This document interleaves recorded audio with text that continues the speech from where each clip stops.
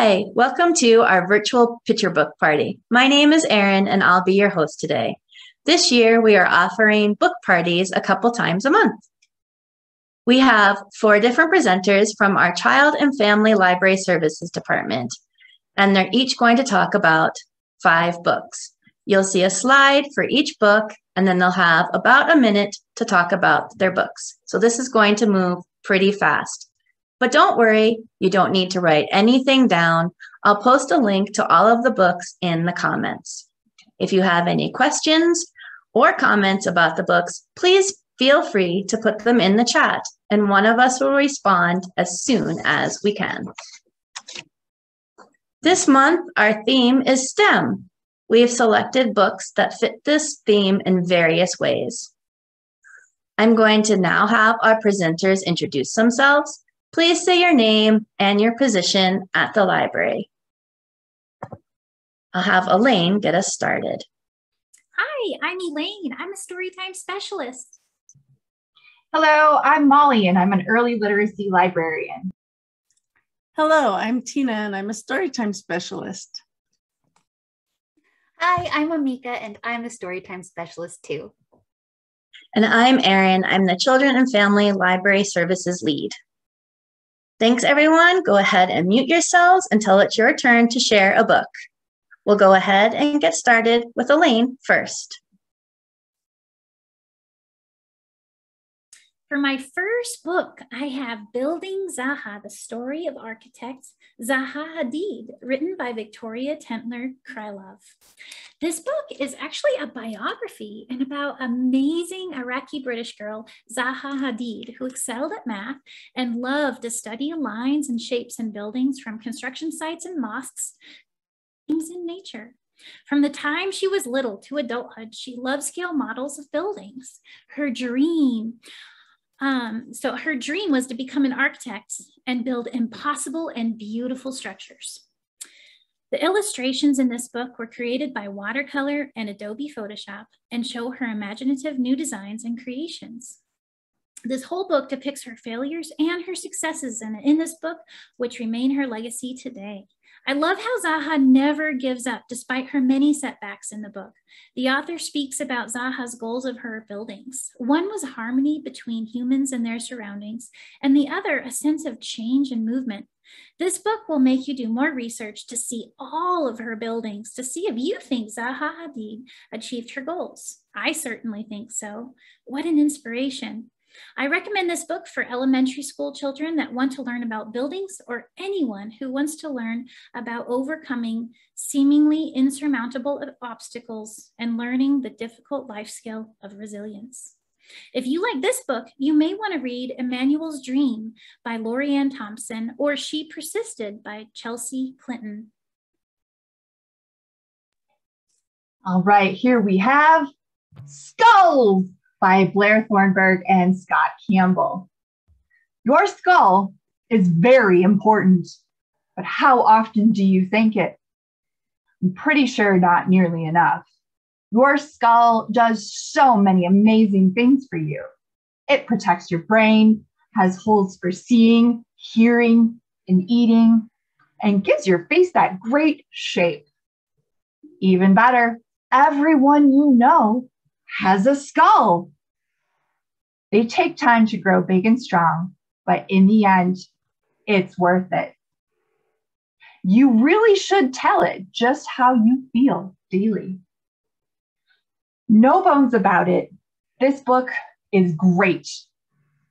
And if you love this book, here are two bonus suggestions for ages four to eight.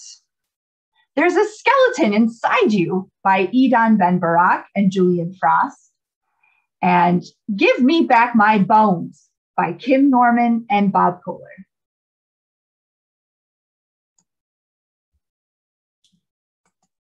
Caution, illustrated by Chi Birmingham and written by Toni Buzzeo. Buz, Buzzeo, uh, a former elementary school librarian Road signs are some of the most common and easiest reading a child will do. This Lift the Flap book gives children a tactile experience with the shapes as they turn the pages. The flaps are designed to give children an opportunity to guess what comes next. As your child gets older, you can talk about what problem the sign might be solving as an introduction to human engineering. Of course, my favorite page is in the book that directs you to the library where you will find this great book.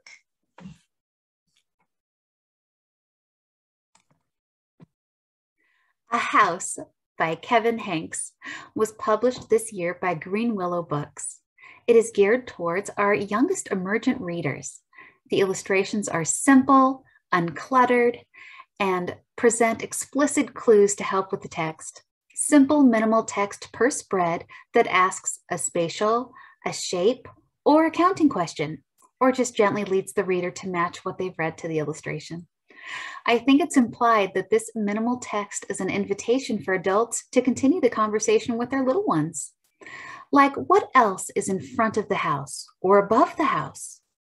What other shapes do you see? What else can we count in the picture? This book could be read in a couple of minutes or longer, depending on the conversations happening while reading. Kevin Henkes has won numerous awards for his contributions to children's literature, and you will find many of his works in our collection, along with this title. What a treat with this one. It's called Drop, an adventure through the water cycle, and it's written by Emily Kate Moon. So get ready to follow the greatest and cutest little drop through the water cycle. A small drop is personified throughout this book, depicting the journey that one drop takes through her never ending cyclical life story. Meet Little Drop.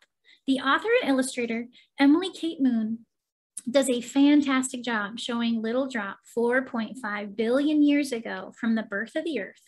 Little Drop sees the dinosaurs, lakes, and seas, and the world.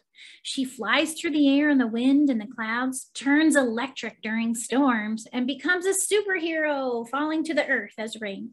She's even been hail and snow.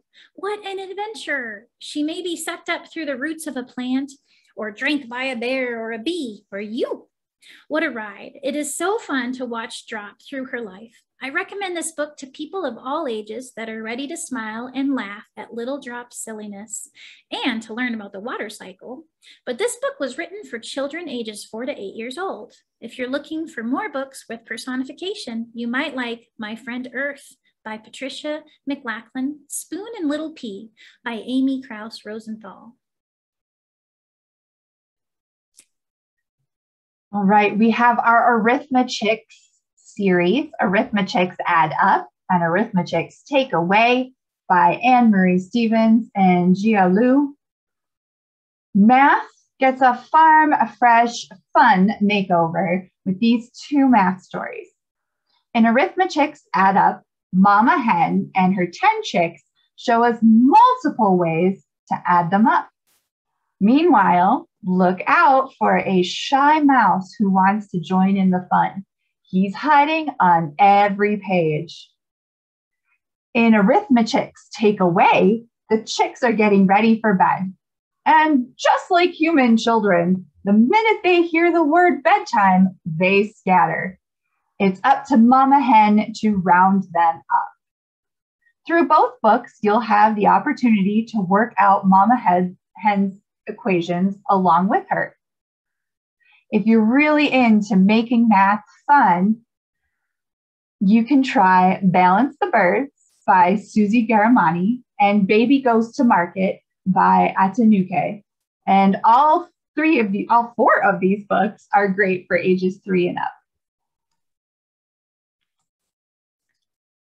My next book is Dozens of Dachshunds, written by Stephanie Calmenson, illustrated by Zoe Persico. This is a fun way to introduce math by counting the dogs in the parade.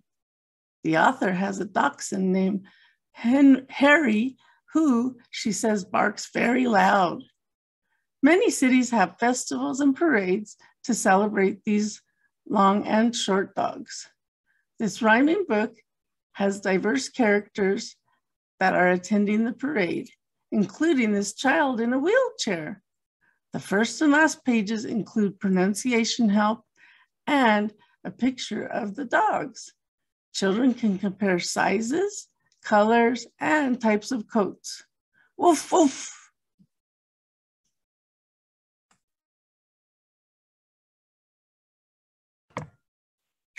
I will eat you. Written by Giada Francia and illustrated by Agnes Baruzzi, was published in 2016 originally in Italian. The English translation was published in 2018 by Holiday House, but I just discovered it. This clever fold out book is probably intended for kids around five years old, but it is an awesome book to illustrate the food chain to any school age kiddo. Adults might learn something too. For example, I did not know that badgers ate frogs or that jaguars can eat alligators. In this book, you and your kiddos can discover all kinds of surprising predator prey relationships from habitats all over the planet in a fun, non scary way. It introduces the fact that all living things depend on other living things for food. Reading this with your preschool aged little one would invite great conversation. I think mm-hmm. kindergarten age and older would really enjoy lifting the flaps and appreciate the humor through independent reading. If I was still teaching elementary school, regardless of the grade, I would have this in my classroom library. In fact, I want it for my home library for whenever my nieces and nephews come over. Don't just believe me though. Check it out first from our library collection. Up next on my favorites list is Goodnight Astronaut, written by Scott Kelly and illustrated by Izzy Burton. Are you great with technology? Can you use computers and complicated gadgets? Do you dream of being an astronaut when you grow up, like our friend and Goodnight Astronaut, Scott Kelly, and his twin brother? This book may be for you. On one level, this book is just a goodnight book. But if you study and you look at those illustrations, you will discover that this book is a true story about a young man and his twin brother that dared to dream about being an astronaut and use different technologies from sleeping in a treehouse as a child to sleeping 62 feet below the ocean's surface in a submarine as an adult. You'll see a plethora of places that he slept and experienced in his preparation as an astronaut. We see him learning how to steer at the helm of a huge ship, exploring the high seas with a compass, and his whole life culminates in piloting the space shuttle Discovery and sleeping in a bag hanging on the wall. If these are your dreams too, pick this book up and discover the world of technology and what it can do for humanity and what it can do for you.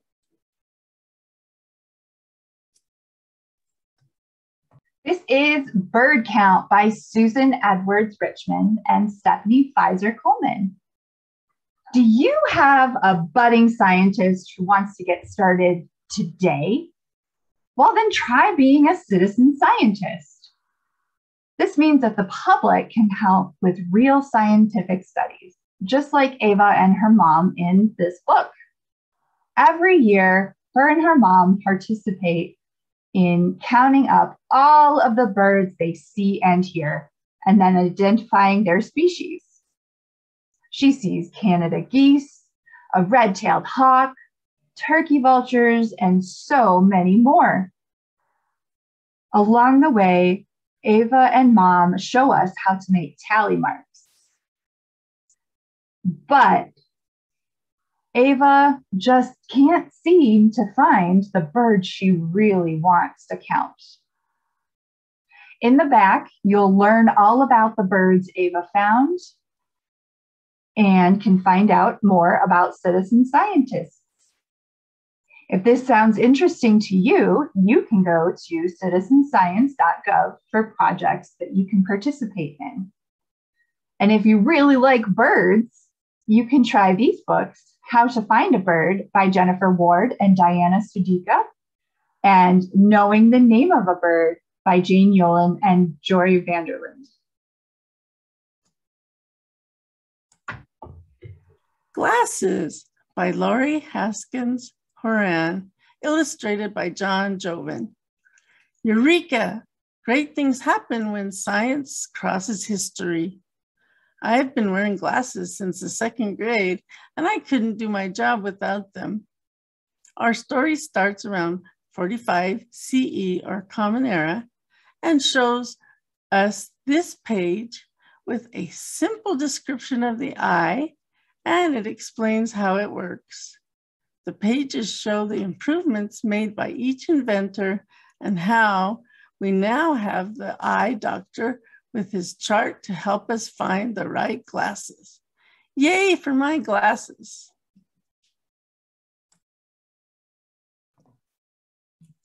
Boxitects by Kim Smith was published by Clarion Books in 2020. This story follows a clever and creative little girl who can build extraordinary things out of ordinary cardboard boxes. She builds at home, she builds at school. Then she meets someone at school who shines at being a box boxitect too. Will they be rivals? Will they be friends? More importantly, what will they build? After you find out, check out the back matter where you are invited to experiment with cardboard and be a boxitect too. There are easy supply lists and step-by-step instructions to build a tunnel and a castle. A fun read with built-in engineering extension activities. Choose to check it out in hardback or ebook format.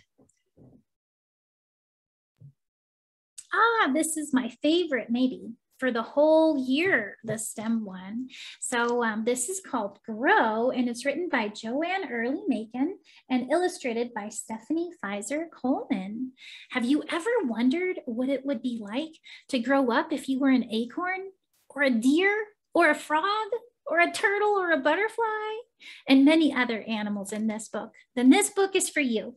Grow shows how different animals and plants grow, including us as humans. The illustrations are vivid and ripe for physical duplication. The grown-ups of all ages and ethnicities depicted in the illustrations are so engaged. They are doing all the actions along with the children, which is my favorite part, and it made me smile. Finally, the text of the book is beautiful written with both figurative language and literal language. The science of the book is solid too. The terminology is completely accurate, and we learn lots of great vocabulary that will get children ready to read. This book will bring a smile to your face too, and you'll want to act like the animals. I recommend this book for ages three to seven, or those that like to pretend, pretend to be something else. Also, due to the growth theme and the important concept that everyone is unique and valuable, I would recommend this as an ideal preschool graduation gift.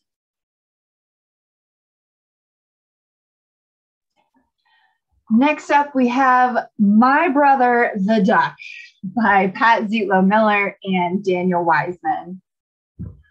When my sister was born, I called her the alien but I was old enough to know that she really wasn't from outer space. Stella, however, is convinced her brother is a duck. Her hypothesis is airtight, but she needs some hard hitting evidence. She then recruits her best friend, Carla. Together, they go through the steps of the scientific method. But what will she do if her brother really is a duck? Only time will tell if her theories prove to be correct. And you know the saying if it looks like a duck, sounds like a duck, it's probably a duck. This book is great for ages four to seven and is perfect for any budding scientist or anyone who has a new sibling at home. If you like this one, I suggest Secret Secret Agent Guy by Kira Bigwood and Celia Krampien, or Alphonse, There's Mud on the Ceiling by Daisy Hirst. Next, I have Secret Code Inside You by Rajani LaRocca, MD, illustrated by Stephen Salerno. This book jacket says it all in this beautifully illustrated book. Why can't humans breathe underwater? Why are some people tall and others short? Why do puppies grow into dogs? And why do babies grow into people? This book explores all this and more, flowing rhyming text explaining cells, genetics, and DNA that is simple and easy for children. This page shows a picture of our body, which looks like what it looks like inside and out. The end pages include a page my husband enjoyed, which is called The Banana Experiment. Check out this book so that you can do the banana experiment at home. Enjoy. It's just the right time of year for this one. And I have a special place in my heart for Scooby Doo because I grew up watching his show. The Scooby Doo Cookbook Kid Friendly Recipes for the Whole Gang by Katrina Jorgensen was published in 2020 by Capstone Editions. The treats one can make from the recipes found within are suitably creepy for October and strangely appealing. It's formatted really well for engaging in fun and delicious math. There are handy tools included like conversion tables for teaspoons to grams and Fahrenheit to Celsius. And of course, one must follow the steps in order and add the correct amount of ingredients together. If you pay attention, you will get to eat your results. I wish math always had such yummy gratification. I haven't actually tried any of the recipes yet, but the possum punch looks very refreshing. However, since it's getting chilly, perhaps a more ghoulishly appropriate beverage could be the swamp brownie cocoa featured here. I'm sure either would go well with the mystery map pizza. Bon appetit. My last title, um, I chose Usha and the Big Digger by Amitha Jagannath Knight, illustrated by Sandhya Prabhat. This was this is such a beautifully illustrated and engaging book about three Indian American girls that are practicing cartwheels and looking up at the stars. They all see something different in the constellations above their heads, depending on their perspective. They are looking at things differently spatially, and that makes a different picture for each one. Artie sees the Big Dipper, Gloria sees a kite, while Usha sees a big digger. We learn that orientation and point of view can affect what we see, which is an important geometry concept and science concept. This is a wonderful math read and a great building friendships with cousins and sisters read too. A perfect mix of STEM and story. At the end of the book, we learn about how people all over the world see different pictures in the same stars. I wholeheartedly recommend this book to children ages three to six years old. If you want to hear more about stories in the sky, I suggest Zoo in the Sky, a book of animal constellations by Jacqueline Mitton. Last up for me is I Am Josephine and I Am a Living Thing by Jan Thornhill and Jackie Lee. You ever really thought about who you are Josephine charts who she is in relation to other life forms, but she also knows that there is no one just like her. Along the way, she asks readers to help her find humans, mammals, living things, and so much more. She'll have you asking yourself, but who am I? I like this book for ages three and up, and it's a great way to encourage children to think about all the different ways they fit into the world. You could also try Outside You Notice by Erin Alladin and Andrea Blinick, and Our World is Relative by Julia Soy and Molly Walsh. My last book is Someone Build the Dream, written by Lisa Wheeler and illustrated by Loren Long another great book of human engineering that children can see every day. The author, Lisa Wheeler, grew up in a family of steelworkers and welders, and who we see in this book. I was pleased to see women and men planning and building with these great illustrations. Once again, I chose a great rhyming book which helps children hear the sounds in the words and gets them ready to read. My favorite page shows an exciting example of someone's dream of an amusement park. Take this book home and start building your own dream.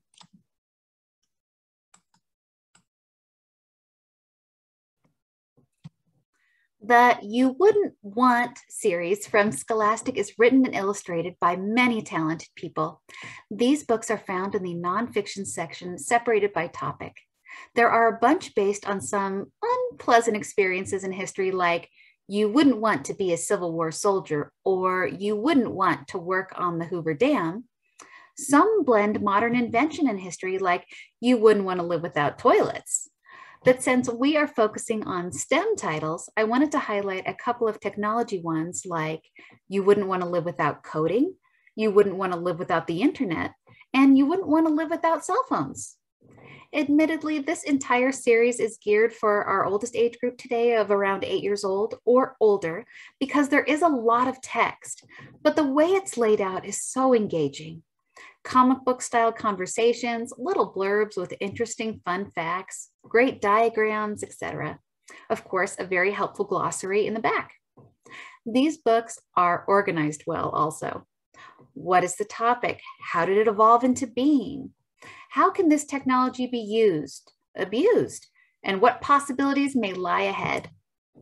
When you do your research in our catalog, first think about what topic specifically you're investigating, then start typing in the search bar you wouldn't want. I dare you not to be distracted by all the cool topics to explore from this series. Happy reading. All right, that's our titles for today. Even with picture books, we have a lot to say. I will post the I will be posting a link to the book in the comment section. And thank you to our panelists for the tough job of picking just five favorites for this session. To sign up for story times and other programs, both in-person programs and virtual programs, visit the events tab at arapahoelibraries.org. You can also find more book lists, links to storytime videos, activity ideas, and lots of other resources on our zero to five page. Just browse just browse the Browse the Library tab. Sign up for our newsletter for regular updates on new programs and services. We're all done for today. Thanks for watching. Bye.